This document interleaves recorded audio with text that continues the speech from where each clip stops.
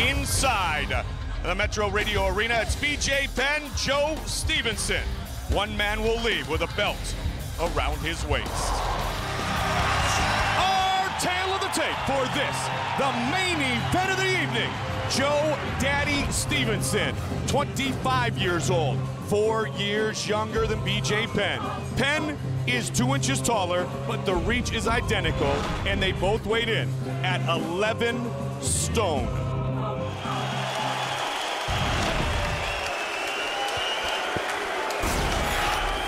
All right, gentlemen, we've been over the rules. Protect yourself at all times. Follow my instructions at all times. We're gonna have a nice, clean fight. Touch gloves, come on, ready to do this. Wow, what a hero's welcome for the Hawaiian BJ Penn. Taking on none other than Joe Daddy Stevenson. Sean, how much danger is there of BJ underestimating Joe Stevenson in this fight?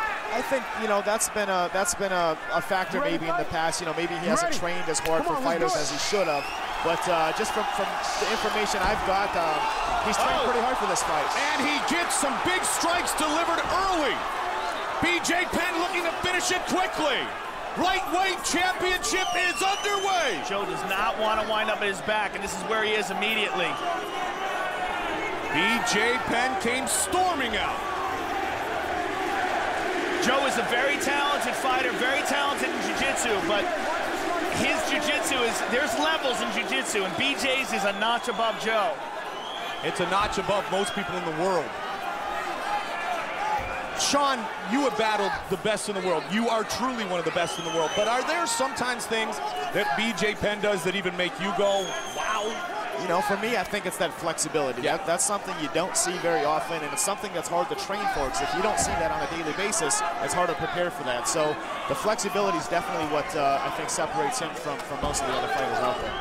And the ability to move those legs, Yeah. not just the flexibility. And he, he has movement of them like other people have movement of their arms. Mike Goldberg, Joe Rogan, former lightweight champion Sean Sherk joining us here in the broadcast booth. One will leave with the belt tonight. Sean Sherk will get a chance to get it back. BJ's pressing Joe up against the cage, and Joe has a desperate look in his eyes, trying to avoid that. Well, it was a, you know, the, the amazing thing in the fight with Jens Pulver was that BJ Penn kind of just kind of overpowered him and threw him around, and Jens admitted that. Jens goes to 145 in the WEC. He's trying to do the same here early, Sean, with Joe Stevenson. It looks like he's trying to set the pace here, set, trying to set it at a high rate, maybe trying to tire out Joe, uh, put some doubt in his mind. Um, I mean, he's doing a good job here of, controlling the fight and hitting and, and trying to take the fight away from Joe right in the beginning. So far, so good for BJ Penn. A big strike early on Stevenson. Remember, this is a title fight, a championship matchup scheduled for five five-minute rounds.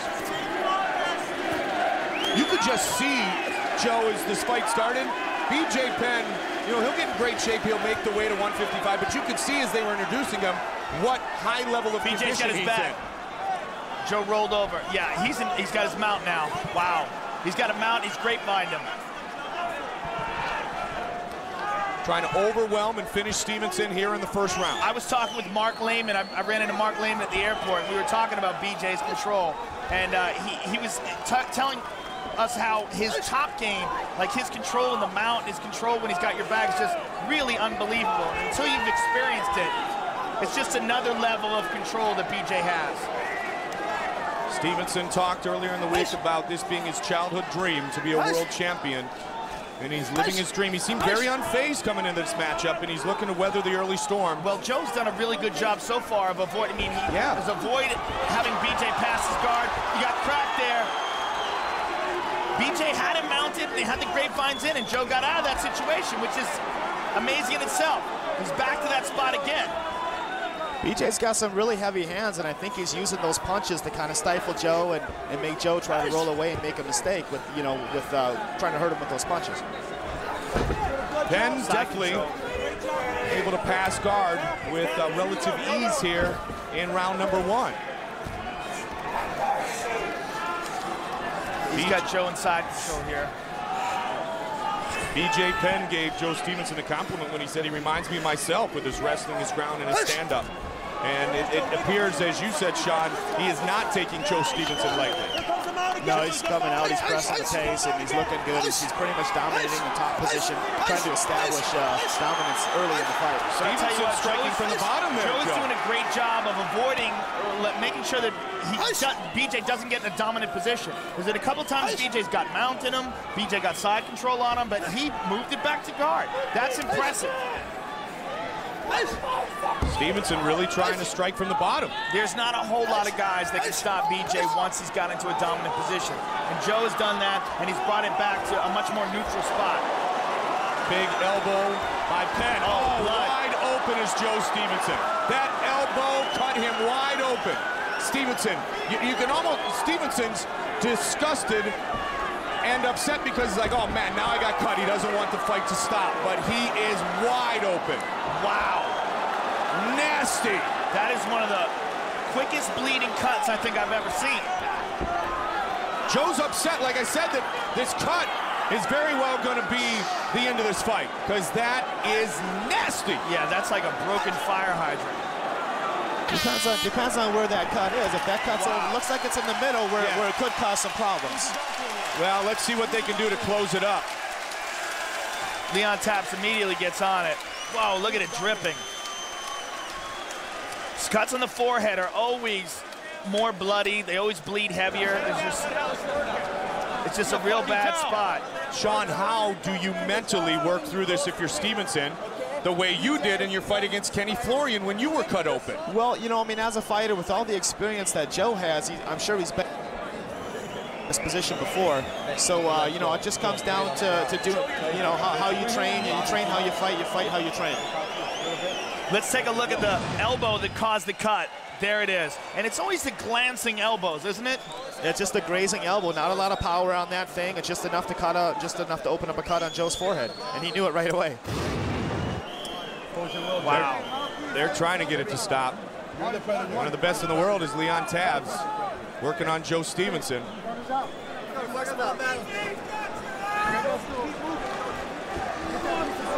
Fight will continue. Joe Stevenson has a determined look in his eyes. This right here is why this is the greatest sport in the world today. Look at that. Dripping with blood, coming out and ready to go. Wow, and a different look in his eyes. Almost like now you've wounded me, now you have a big problem. Well, there's a sense of urgency now. He knows there's a cut on the head. If the fight keeps going, it could cause more, cause more of a problem and make the doctor take a second look at it. Oh, elbow big by Joe. by Joe Stevenson. What a picture of a warrior. Looks like that cut's in the spot in Joe's, Joe's forehead where the blood is going right between his eyes. It's not going in either eye, so the doctor could see that and, and, and let this fight keep going.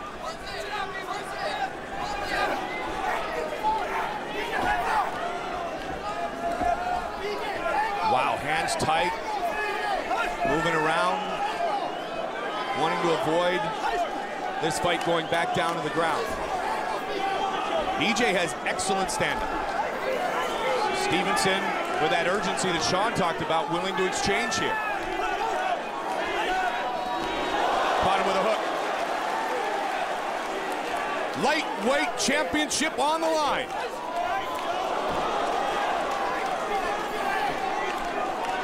Stevenson is key-eyeing with every punch. He ate a left there. He was doing that from the ground too, Joe, in the first round. Yep. I, I don't think I've ever seen that from him before. Joe's boxing to me looks a lot more crisp than it has in the past. You got to figure with, with BJ's takedown defense, he must have known that this fight was going to remain on the feet for a while. Uppercut. You know, Sean, you pointed out that the blood seems to be dripping down the center of his face, if you will, and not into his eyes. And it almost appears from our angle right here that it has not impaired his vision yet. Yeah, I mean, that, that's something the doctor's looking at very closely right now. The blood's not going in his eyes. He can still see. You can notice he's not wiping his, his, his blood away from his eyes because it's not in his eyes. Where, where uh, if, if there was a problem, now the We're gonna doctor's gonna- doctor. Doctor's going to look at it again, but you can see there's no blood in his eyes, so it shouldn't be a problem. And this is why, in the first round, he reacted the way he did to getting cut open because, as you know, against Florian, you don't want to fight to stop that way if you feel fine other than the fact you're bloodied up. You, you don't want to lose a fight by a cut, and, and you don't really don't want to win a fight by a cut either. And, and it's something that's hard to deal with, and it does it does send a sense of urgency uh, if you were the one that getting that's getting cut. Both these guys are covered in blood now. Going to make them both very slippery, Joe, which is going to make a submission pretty highly unlikely. Oh, good, good uppercut, good right hand. forward is Joe's in trouble. And BJ Penn has Joe Stevenson's back. Joe good, does a great job of rolling over. He gives BJ the mount, though. He's got to keep his composure here. That blood has got to be in his eyes now, but he's doing a good job. He holds on to BJ's wrist.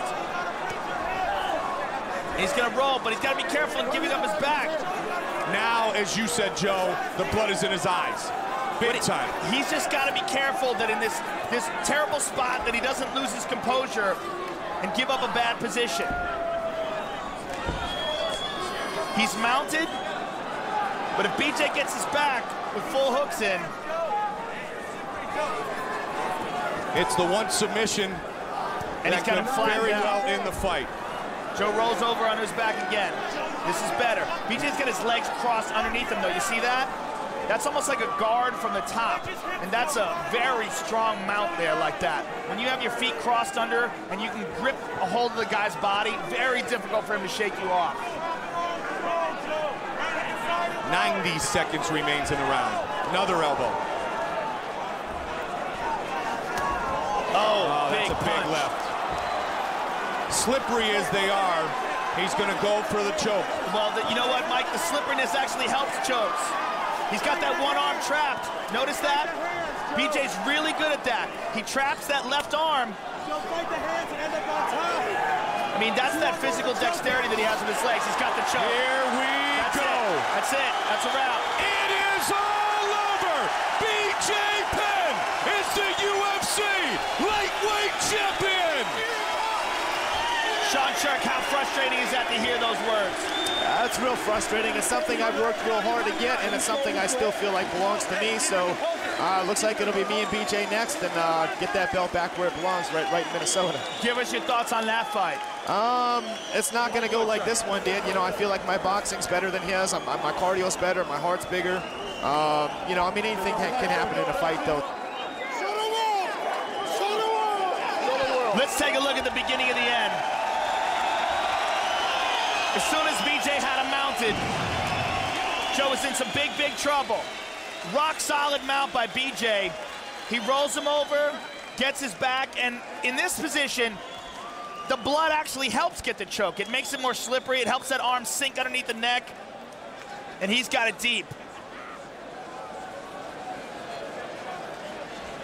What a great bit of heart and courage shown by Stevenson.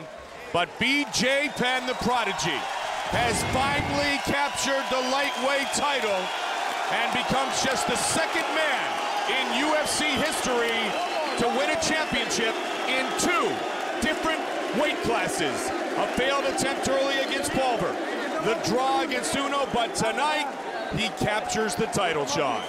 Yeah, yep. In, in dynamic fashion. I mean, he looked good. He looked like he was in shape. He came here ready to go. I mean, it could be a revamp, revamped uh, BJ Penn.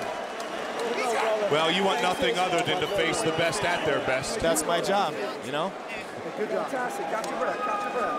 B.J. Penn defeats Joe Daddy Stevenson. Stevenson overwhelmed with emotion.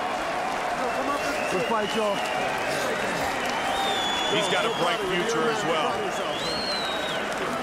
Bruce Buffer has the official decision. Ladies and gentlemen, referee Herb Dean has called a stop to this contest at 4 minutes 2 seconds of the second round, declaring the winner by tap out due to a rear naked choke. And now, the new